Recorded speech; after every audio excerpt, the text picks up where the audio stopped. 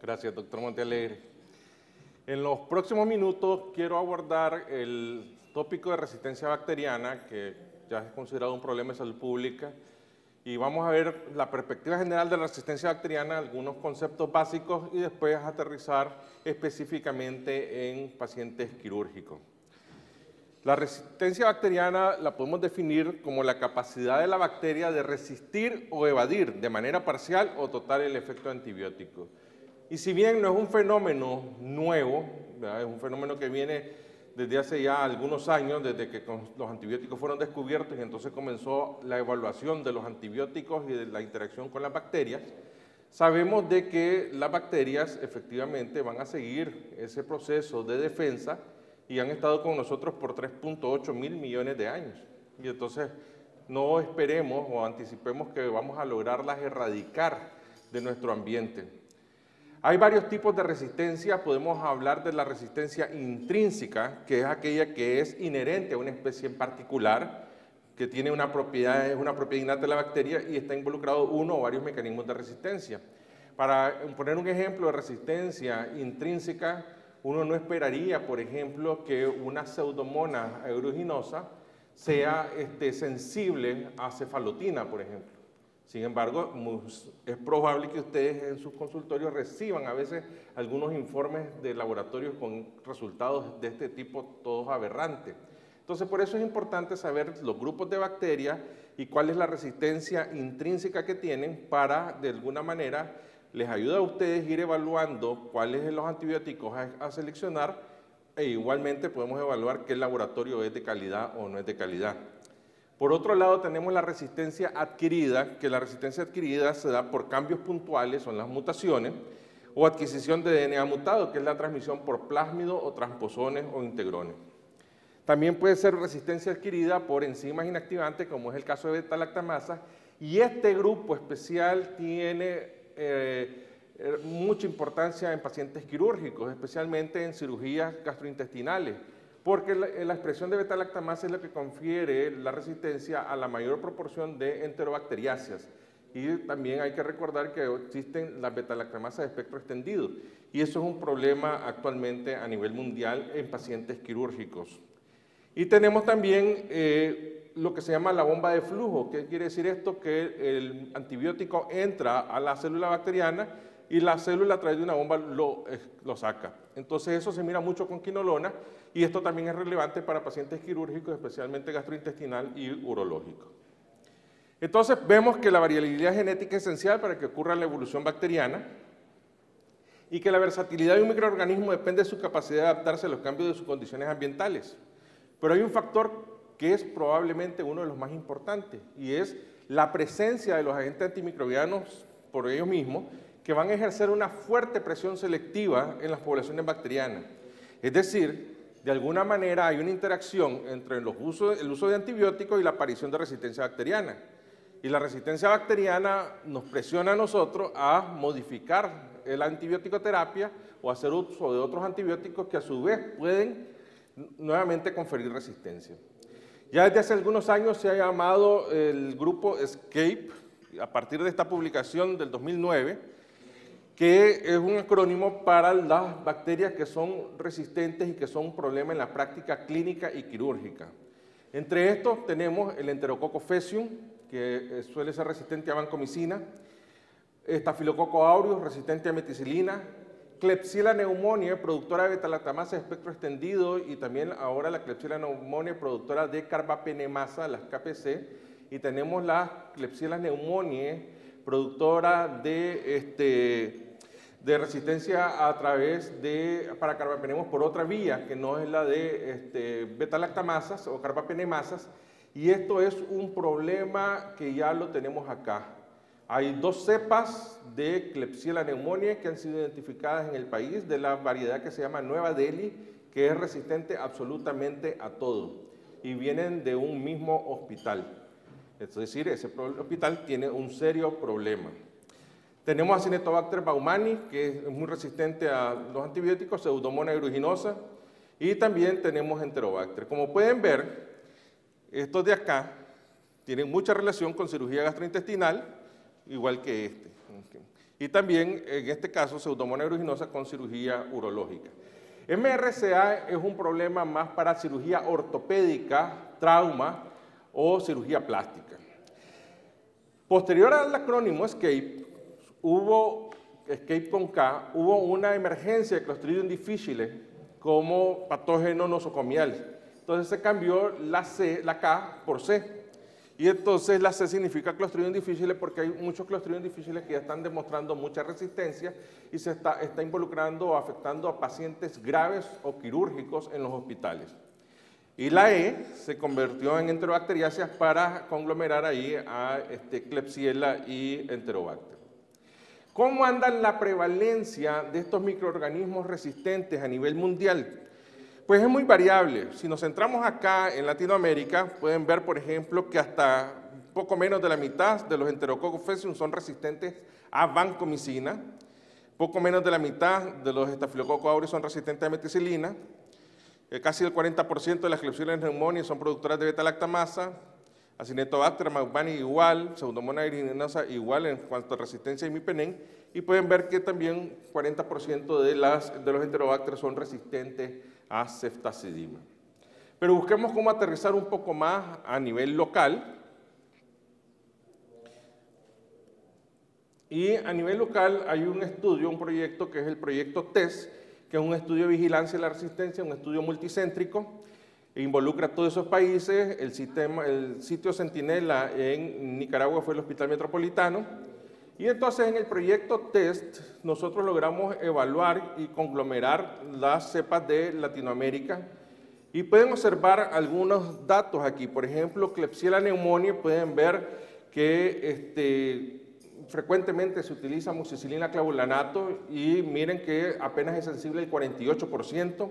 En el caso de ceftriaxona, que es uno de los problemas que tenemos porque ha sido tan difundido su uso o se ha sobreutilizado que la mitad de las clepsielas neumonias son resistentes a ceftriaxona y miren el otro, que es levofloxacina. Solo 65% de los pacientes se, este, son sensibles a levofloxacina. Creo que aquí hay una sobreutilización a veces de ceftriaxone y en el caso de la levofloxacina, que igual que Cipro, eh, es prescrita frecuentemente para contextos que no tiene cabida, como pueden ser las infecciones de piel y tejidos blandos. Pseudomonas, el problema está en cuanto a ceftacidima y nuevamente quinolona, 59% de las levofloxacinas son resistentes, este, perdón, sensibles a, a la pseudomona. Acinetobacter baumani es un problema mayúsculo, solo algunos antibióticos como imipenem van persistiendo con algún grado de sensibilidad. El enterococo faecium, que es muy resistente a banco, pues es variable. pueden observar que la ampicilina que antes se utilizaba para enterococos, este, en aquel famoso esquema triple antibiótico para infecciones intraabdominales, ya no tiene cabida. Y vancomicina, miren, 40% de de los enterococos son resistentes a banco. Igual con Enterobacter aerógenes, el problema sigue siendo ceftriaxona, y Enterobacter cloacae también el problema es ceftriaxona. Ya buscando cómo delimitar más el problema, existe un grupo que es el grupo REVAC, es un grupo multidisciplinario que este, vigila eh, o pretende mejorar el diagnóstico, manejo y control de las infecciones en Centroamérica y el Caribe. Está comprendido por toda Centroamérica y el Caribe inglés también. Y entonces en el grupo RIVAC hemos hecho un análisis de la sensibilidad de algunos patógenos, como por ejemplo Escherichia coli, y tal vez nos centramos aquí en Nicaragua, y miren, 21% de las Escherichia coli que fueron aisladas en el Hospital Metropolitano, 21% son productoras de beta-lactamasa de espectro extendido. Entonces eso es más o menos, si bien no es representativo para nada de la situación nacional, pero ya sabemos cómo está el comportamiento en nuestro hospital. Y fíjense que un cuarto, es decir, uno de cada cuatro pacientes este, con Escherichia coli no va a responder a ciprofloxacina porque es resistente. Klebsiella pneumonia, también el, problema con Klebsiella pneumonia sigue siendo también la betalactamasa, 19% son productoras de betalactamasa de espectro extendido, acá en Nicaragua. Eh, Pseudomonas, el problema ahí es un poquito más serio, sobre todo para otros hospitales. Eh, ceftazidima ya no es tan eficaz para el tratamiento de pseudomonas aeruginosa. Acinetobacter sigue siendo un problema mayúsculo. Ahí solo tenemos el caso de imipenem. Y esto es importante sobre todo para el contexto de cirugía ortopédica, trauma, neurocirugía y cirugía plástica. ¿Por qué? Porque en estos cuatro ambientes quirúrgicos, estafilococo aureus es el patógeno número uno. Y miren, 44% son estafilococo aureus resistentes a meticilina. Y 33% de los enterococos fesum son resistentes a banco. Específicamente en infección intraabdominal, el estudio SMART ha aportado muchísimo para conocer la microbiología en Latinoamérica. Claro, el problema con SMART es de que ponen un bolsón a todos los países de Latinoamérica y entonces se extracciona cuando lo analizamos, darle por acá, 89% de sensibilidad. Pero cuando se hace un subanálisis del SMART, los países con sensibilidad a extracciones de coli y Klebsiella pneumoniae menor de 80% son nuestros vecinos, México, Guatemala y Panamá. En ese momento Nicaragua no participó en el SMART, pero es probable, como ya vimos los resultados, que nosotros tenemos 70% apenas de sensibilidad. El otro patógeno a evaluar es Escherichia coli, productora de beta-lactamasa de espectro extendido, y más o menos 20% de las E. coli de infecciones intraabdominales son productoras de beta-lactamasa, así 23% de las Klebsiella y miren Enterobacter 36%. ¿Qué quiere decir esto para la práctica clínica, quirúrgica? Es de que ceftriaxona va a ser un antibiótico que efectivamente va a, no está demostrando la eficacia y lo vemos cuando en la práctica vemos fracasos terapéuticos y tenemos que cambiar a carbapenemus. Entonces, analizando los tipos de cirugía, estos podrían ser las bacterias patógenas.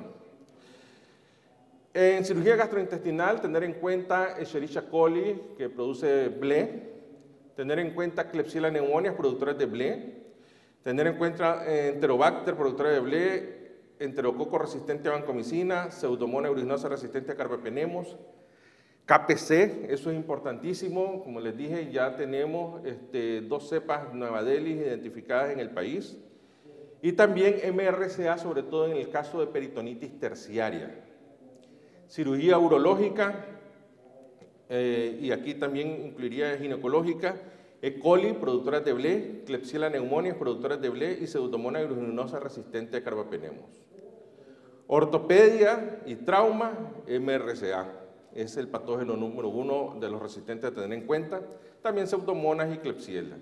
Cirugía plástica, MRCA y también Pseudomonas aeruginosa resistente a carbapenemus y en neuroquirúrgico también MRCA, pero como son pacientes que usualmente están ventilados, ahí también entra el rol de la Cinetobacter como productor de neumonía asociada a ventilador.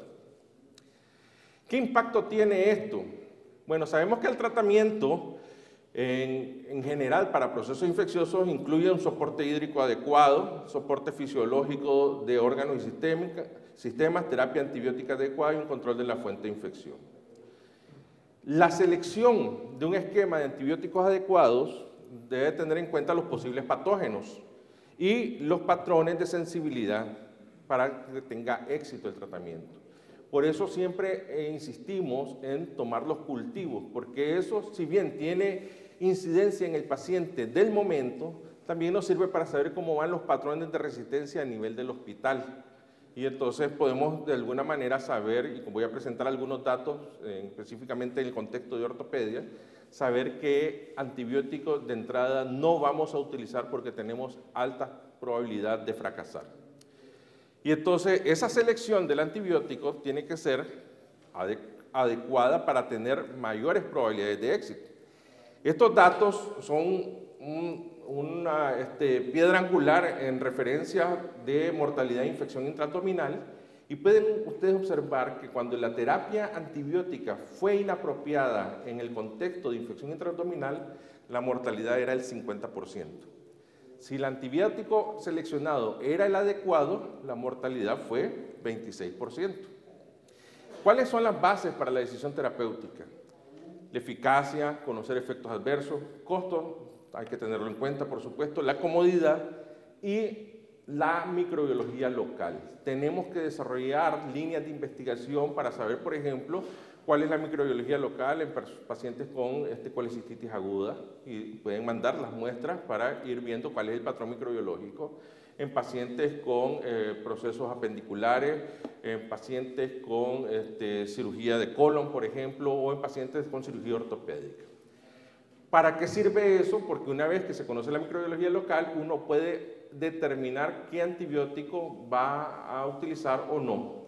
Y este es uno de los ejemplos. Este es el estudio que hicimos sobre microbiología del pie diabético en el Hospital Metropolitano. Es un estudio realizado en conjunto con los doctores este, López, Luis Alemán, eh, Osmar López y Tatiana Rivera. Y pueden ver que en microbiología del pie diabético el número uno es el que esperábamos, estafilococo aureus. Pero ¿qué pasa? Miren el número dos, Klebsiella. No es tan usual encontrarla en pie diabético en otras series. Cada serie tiene sus diferencias, pero nosotros encontramos Klebsiella como número 2 y E. coli como número 3. ¿Y qué sucede? Que el 70% de las Klebsielas que encontramos eran productoras de betalatamasa de espectro extendido.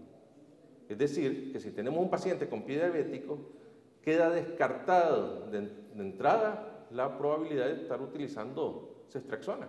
No le va a hacer absolutamente nada. Por eso es que ertapenem se ha constituido en la primera línea para nosotros en muchas infecciones, como es este caso, como es pie diabético. Pueden ver E. coli, BLE, 44.4%. Contrario a lo que esperábamos, esperábamos andar como con un 40% de MRCA, solo 20% encontramos de MRCA. Otro dato interesante que encontramos es que había una asociación entre Klebsiella pneumoniae, productora de BLE, y niveles más altos de glicohemoglobina A1C, de tal manera que parece ser que el descontrol metabólico podría estar asociado o relacionado a resistencia bacteriana. ¿Hay otro factor a tomar en cuenta? Sí, hay otro factor, como es la ecología microbiana, es decir, la resistencia bacteriana que se produce por nuestra presión antibiótica. Y aquí quiero eh, hacer referencia a dos estudios, el OASIS 1, el OASIS 2, son pacientes quirúrgicos con infección intraabdominal y a los que se le tomaba hisopado rectal, basal y dos semanas posterior al tratamiento para ver cómo cambiaba la microbiología local el antibiótico utilizado. Y hubo mayor proporción de enterobacteriasas resistentes en los pacientes tratados con piperacilina tazobactam y con ceftriaxona más metronidazol que en los pacientes tratados con ertapenem. En ese sentido, pueden ver acá solamente para que veamos acá enterobacterias resistentes a piptazo, ¿verdad? Y, y esto es cómo están en cuanto a ertapenem, 0.6 a 1.3%, y aquí 0.6 sube con piptazo a 12.2. Veamos este, enterobacterias ble positiva, aquí se mantuvo en 0%, aquí en 1.3%. Y esa es una de las características de ertapenem. Ertapenem se ha visto que no presiona tanto resistencia. Entonces, por eso es que ahora es primera línea en infecciones polimicrobianas de la comunidad. Ahí pueden ver en rojo enterobacteriasas resistentes a ceftriaxona, en púrpura enterobacteriasas ble positivos y cómo va subiendo este, del basal a dos semanas posterior al tratamiento. Eso es lo que no vemos en la práctica. Es decir, eso puede tener repercusiones en el paciente semanas después si tiene otra infección porque puede ser por un patógeno resistente. ¿Y qué impacto tiene la resistencia sobre la mortalidad? Pueden ver que, por ejemplo, en MRCA la tasa de mortalidad es más alta, 21% contra 8% si fuera un estafilococo sensible. En caso de bacilo gran negativo multiresistente, la tasa de mortalidad también es más alta, 38% versus 23%. Y en el caso de bacteriemia enterocócica, resistente a la banco pueden ver 37% versus 16%.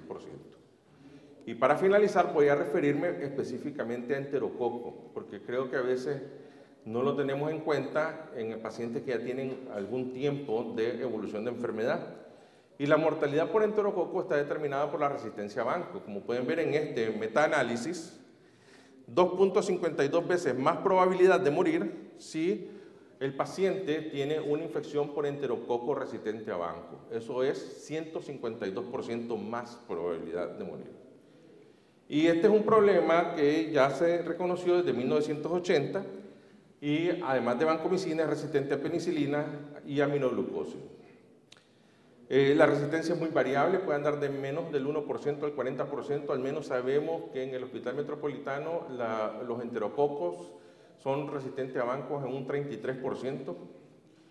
Y siempre se dice si hay que entrar con cobertura para enterococos de inicio en un paciente con infección intraabdominal o esperar que haga una peritonitis terciaria, que donde ahí sí eh, son más frecuentes. Varios estudios demostraron que las infecciones intraabdominales con flora mixta pueden ser tratados con cirugía y diferentes clases de antibióticos, pero que no tengan actividad antienterococo. Es decir, de entrada no va a ser necesario que el paciente esté con vancomicina o con linesolide, por ejemplo.